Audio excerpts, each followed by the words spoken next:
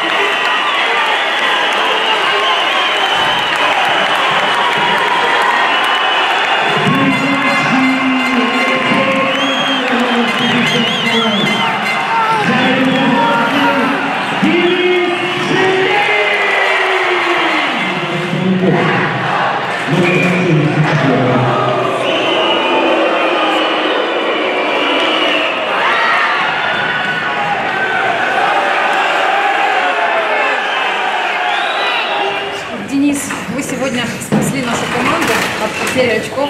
И этот гол, наверное, запомнится навсегда болельщикам. Как получилось? Как вообще матч прокомментируете? Матч был играли все строго в обороне, старались на контратаках, поэтому не так сильно много моментов было. Какие моменты были, мы их смогли использовать. Вели 2-0, держали преимущество, выиграли в конце 2-3, постарались сравнять счет, нам получилось это за одну секунду. Думаю, это хорошо. Всем понравилась игра. Ну, вот этот гол как раз доказывает, что мы бьемся до последней секунды. Ну, конечно, мы всегда бьемся до последней секунды, стараемся во что бы то ни стало сравнять. Не всегда это получается, конечно, бывают и провальные игры, но стараемся всегда играть до последней секунды. Ну, в общем-то, так даже тяжело комментировать эту игру, в общем-то. Это была равная игра. Выбрались 0-2. Провели в счете. Вели в счете. И упустить победу за секунду, это, конечно, нехватка концентрации. Это не есть хорошо, скажем. Но тем не менее, два очка, соперник очень серьезный. И выезд очень сложный. В общем-то, рад победе. Так, во- вообще мы привыкли видеть Тарос на вершине турнирной таблицы. Получилось так, что играли сегодня соседи. А, ну, почему не совсем удался, может быть, старт? Есть разные на то причины. Ну, в общем-то, если вспоминать сезон этого, у нас не совсем удачный старт этого сезона наращиваем темп. Ну, мы уже говорили, что я перед домашней серией говорил, что нас ждут очень тяжелые три игры с лидерами. Команда Торос на протяжении шести лет всегда с медалями, на начало, там, когда чемпионата. Всегда с медалями. Команда мастеров, команда обучена, команда лидер. И хотя мы повели 2-0, это не означало, что Торрент просится играть, как некоторые команды. Только наоборот, игра накалилась. Хорошие моменты были и с нашей, и стороны соперника.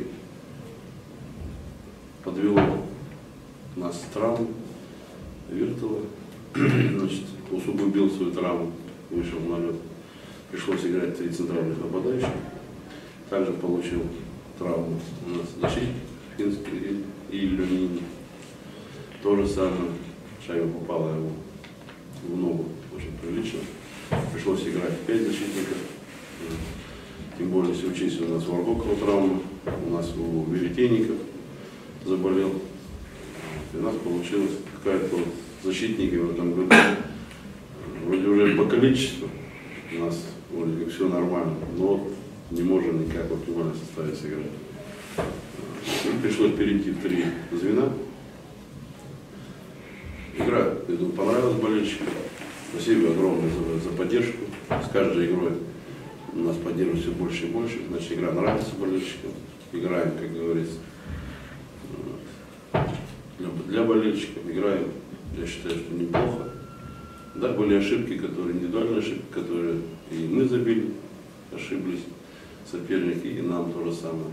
4 на 4 не доработал. Э, Артем Токарев, бросок, гол. 5-4, тоже удаление не нужно. Затем 5 на 5, опять же, переиграли сменку уже несколько раз, и Серкенов Шин. Там подставляли Спиридонова и Шестакова, подставляли центрального нападающего. Переиграли смену, возврат, классическая 3-2, решила, по идее, судьбу матча. Ну, в конце были моменты, ну, как говорится, это хоккей, за одну секунду спаслись. 2-0 вели, 2-3 проигрывали, 3-3. Вот. Интересно было посмотреть в овертайме. Овертайм удался, и я уже говорю, что команда